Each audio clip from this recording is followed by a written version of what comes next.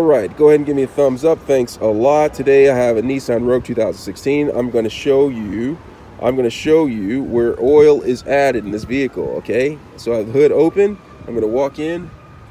Underneath that cap right there is where oil is added. Okay, and also right here, that yellow thing, that's the oil dipstick to, to so you can see how much oil you have in there. All right, give me a thumbs up. Thanks a lot for watching.